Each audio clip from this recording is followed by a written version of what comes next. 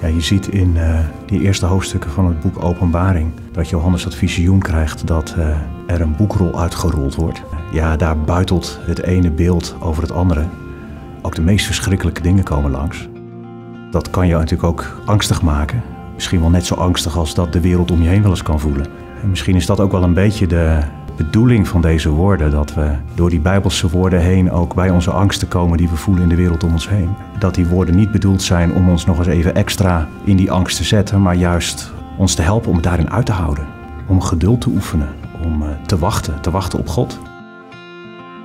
Het voegt denk ik in uh, de adventsperiode ook wel iets toe aan onze neiging om advent mooi te maken en gezellig te maken. Terwijl advent juist raakt aan die, uh, die ruwheid ook van die beelden in de openbaring. Dat wij in die periode van advent niet onze gordijnen dicht doen en het uh, binnen gezellig maken bij een kaarsje. Maar dat we dat vieren in een wereld die gewoon vol is met crisis en met angst. En dat daarin wij opgeroepen worden om te wachten. Dat God komt. En dat, uh, dat er aan het eind van de geschiedenis een laatste woord is.